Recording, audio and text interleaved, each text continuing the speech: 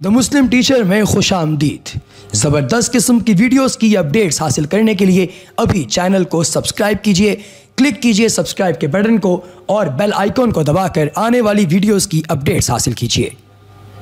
अज़बिल्लिमिनशैतानरजीम बसमीम अल्लाम आपके लिए हम लेकर आए हैं आज हज़रत सलेमान के मुआजात की तफसील, जो कि शायद आप पहले ना जानते हों। अगर आपने अभी तक हमारे चैनल को सब्सक्राइब नहीं किया तो अभी नीचे दी गई लिंक बार में मौजूद सब्सक्रिप्शन के बटन को दबाकर चैनल को सब्सक्राइब कर लीजिए और वहीं पर मौजूद बेल आइकन, यानी घंटी के निशान को दबाकर आने वाली वीडियोज़ की अपडेट्स को ऑन कर लीजिए। दोस्तों, आज हम आपको बताएँगे हज़रत सलेमान सलाम के मुआजात के बारे में और उनकी सल्तनत के बारे में। सलेमान सलाम अल्लाह ताला के बरगजीदा नबी और हज़रत सलेमान सलाम दाऊद सलाम के साहबजादे थे। आप अल्लाह तबारक ताली के हजूर बहुत ही ज़्यादा मकबूल थे। हज़रत दाऊद सलाम की तरह अल्लाह ताला ने हज़रत सलेमान को भी बहुत से मुआजात अदा किए थे। आप जानवरों की बोलियाँ समझ लेते थे। हवा पर आपका काबू था, आपके तख्त हवा में उड़ता था और सुबह और शाम में मुख्तलिफ़ समतों का एक एक माह का फासला तय कर लिया करता था। इसके साथ ही साथ आपको ये भी हमने बताया कि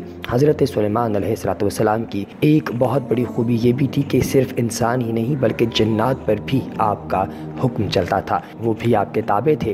और हज़रत सलेमान सलाम ने मस्जिद अक्सा और बैतुलमक़दस की तमीर शुरू की। जज्बात जिस दौर के अंदर जो है ये तामीर शुरू की गई तो जन्नात दूर दूर से पत्थर और समंदर से मोती निकाल निकाल कर लाया करते थे। इनमें कुछ इमारतें आज भी मौजूद हैं और बाकियों को यहूदी ढूँढने की कोशिश में लगे हुए हैं। इसके अलावा आपने जिनों से बहुत सारे काम लिए। तफसीर सावी में है कि पूरी दुनिया की बादशाही सिर्फ़ चार ही शख्सों को मिली है, जिनमें से दो मोमिन थे और दो काफिर। हज़रत सलमान सलाम और हज़रत जुल्करनैन तो साहिबान ईमान थे और नमरूद, बख्त, नसर और ये दोनों काफिर थे। हज़रत सलमान सलाम जैसे बादशाहत ना किसी को मिली है और ना ही आइंदा किसी को मिलेगी।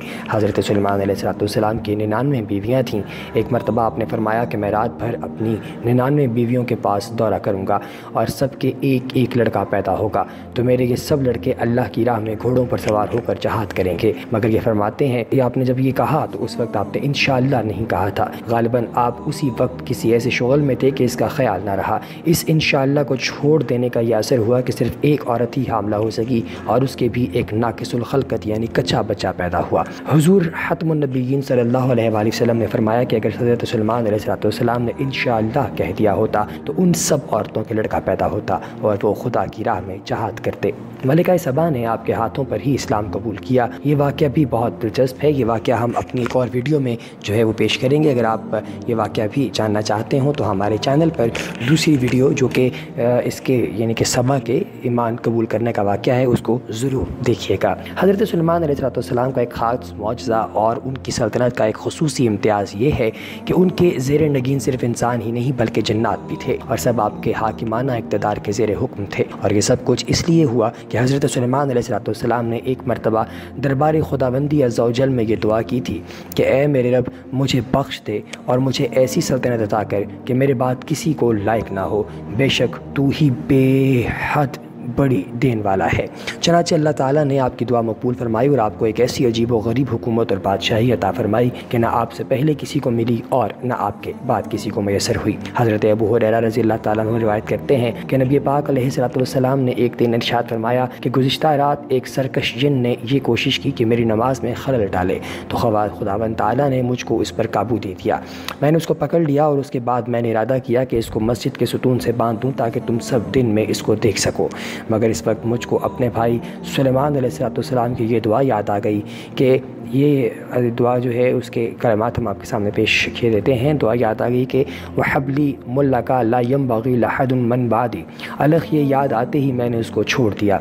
हजूर सल्लल्लाहु अलैहि के इस इरशाद का मतलब यह है कि अगरचे खुदाबंदी ने, अल्लाह तबारक ताली ने तमाम अम्बिया और रसुल के खसाइस व मुआजात और खसूस इम्तियाज़ात और कमालत मुझमें जमा फरमा दिए हैं। इसलिए कौम जिन की तस्खीर पर भी मुझको कुदरत हासिल है। लेकिन चूँकि हज़रत सलेमान सलाम ने इस अख्तास को अपने खसूसी तोहरा इम्तियाज़ करार दिया है और इसलिए मैंने ये चाहा कि इस सिलसिले का मुजाहरा करना मुनासिब नहीं है। हज़रत सलमान सलाम की हुकूमत हवा पर थी। उनका एक ख़ास मुआवजा ये था कि अल्लाह ताला ने हवा उनके हक़ में मुस्खर कर दी थी और वो उनके ज़ेर फरमान करती थी चना हज़रत सलेमान जब चाहते तो सुबह को एक महीने की मुसाफत और शाम को एक महीने की मुसाफत की मकदार हवा के दोष पर सफ़र कर लेते थे कुरान करीम ने आपके इस मुआजे के मतलब तीन बातें की हैं एक ये है कि हवा को हज़रत सलमान के हक़ में मसखर कर दिया दूसरी ये कि उनके हुक्म के इस तरह ताबे थी हवा कि शदीद तेज़ तुंद होने के बावजूद उनके हुक्म से नरम और आहिस्ता रवी के बायस राहत हो जाती थी। तीसरी बात यह कि हवा की नरम रफ्तारी के बावजूद उसकी तेज़ रफ्तारी का यह आलम था कि हज़रत सलमान के सुबह शाम का जुदा जुदा सफ़र एक शाह सवार के मुसलसल एक माह की रफ्तार के बराबर था। इससे ये पता चलता है कि हज़रत सलमान सलाम पर अल्लाह तबारक ताली की बहुत रहमत थी। और यूँ अगर कहा जाए कि गोया हज़रत सलमान सलाम का तख्तुलजन और मशीन जैसे ज़ाहरी इसबाब से बालातर सिर्फ़ इनके हुक्म से एक बहुत तेज़ रफ्तार हवाई जहाज़ से भी ज़्यादा तेज़, मगर सुबुक रवि के साथ हवा के कांधों पर उड़ा चला जाता था। इस मुकाम पर तख्त सलेमान और आपके सफ़र के मुतालिक जो तफसीत सीरत की किताबों और तफसीरों में मनकूल हैं, इनमें बहुत से वाक़ात इसराइलियात का ज़ख़ीरा हैं जिनको बाज़ वाजीन बयान करते हैं, मगर वो काबिल एतबार नहीं है और इन पर बहुत से एतराज़ा भी वारद होते हैं। कुरान मजीद ने इस वाक़े के मुतालिक सिर्फ़ इस कदर बयान किया है कि और सलेमान के लिए तेज़ हवा मस्खर कर दी है कि इसके हुक्म से चलती इस ज़मीन की तरफ़ जिस और जिसमें हमने बरकत रखी और हमको हर चीज़ मालूम है। हज़रत सलमान सलाम के बस में हवा कर दी और इसकी सुबह की मंजिल एक महीना की राह और शाम की मंजिल एक महीना की राह। और सूरज सुहा में फरमाया कि हमने हवा इसके बस में कर दी, क्योंकि इसके हुक्म से नरम नरम चलती जहाँ वो चाहता। तांबे के चश्मे हज़रत सलेमान चुके अजीमशान इमारतों और पुरशौकत कलों की तामीर के बहुत शायक थे, इसलिए ज़रूरत थी कि गारे और चूने के बजाय पिघली हुई धात गारे की जगह इस्तेमाल की जाए। लेकिन इस कदर कसीर मकदार में ये कैसे मैसर आए? ये सवाल था जिसका हल हज़रत सलमान सलाम चाहते थे। चनाच अल्लाह ताली ने हज़रत सलमान सलाम की इस मुश्किल को इस तरह हल किया कि इनको पिघले हुए तांबे के चश्मे अता फरमाए। बाज़ मुफसरीन कहते हैं कि अल्लाह ताली हसब ज़रूरत हज़रत सलमान सलाम के लिए तांबे को पिघला देता था और ये हज़रत सलमान सलाम के लिए एक ख़ास निशान और उनका मुआजा था।